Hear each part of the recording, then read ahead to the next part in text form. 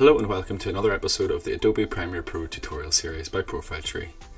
In today's episode, I'm going to take you through what to do when your media goes offline um, and you can't locate it. So there are a few reasons this can happen. I'm going to take you through the main ones today. Um, if after watching this video your media still can't be located, um, please leave a comment in the comment section below and one of our team will get back to you uh, with a reply and it will hopefully resolve um, your issue regarding Premiere Pro. So let's go ahead and get started. Um, I'm going to open a project. So let's go ahead and find it. Um, let's go for the Christmas market one. Um, so go ahead and open your project. Um, so locating media, and then this is probably what you've been presented with. Um, so here we see our file name, sorry, clip name, file name, file path. Um, so this is what we want to be looking at here, the file path. This is where your clips are located and it's how Premiere Pro knows where they are. Um, so what I'm going to do is make sure these boxes are ticked. So basically it's going to run a search and Premiere um, wants to match the file name that it's looking for with all of these. So make sure file name's ticked, file extension is ticked, um, and go ahead and click locate. Also make sure this is ticked. Use media browser to locate files. So go ahead and click locate. So before I hit search, I'm just going to tick display only exact name matches. And then I'm going to click search.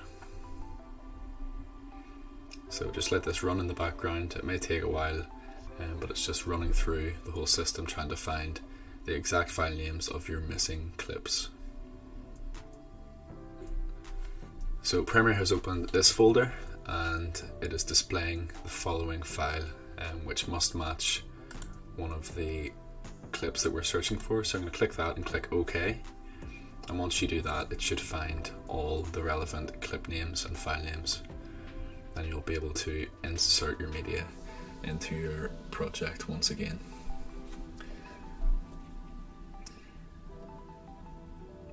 So it's quite a common thing.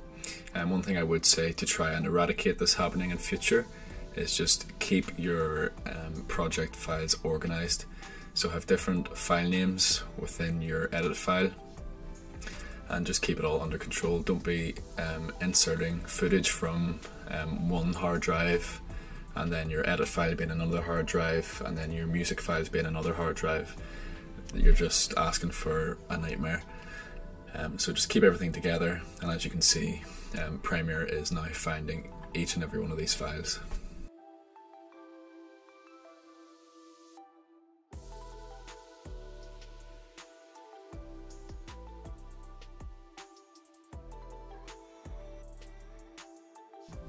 Okay, so as we can see now, Premiere has nearly uh, recovered every single bit of media.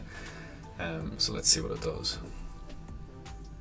So as there are so many files, and they're usually high quality images depending on what you're working on, um, it can take a little while. So just be patient with Premiere and let it do its thing.